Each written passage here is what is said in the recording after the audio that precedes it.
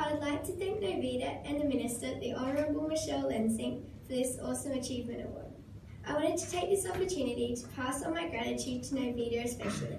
Thanks to the Board of Directors who work so hard to ensure that services can be provided.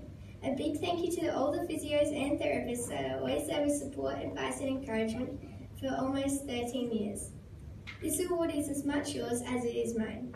A special thanks to those who nominated me. It was a therapist who first that I try swimming with a club during some hydrotherapy lessons. I loved everything that swimming has provided me. I've made so many amazing friendships and had the opportunity to meet so many inspiring athletes. Uh, I encourage all those with challenges to persist in finding a sport that suits their unique abilities.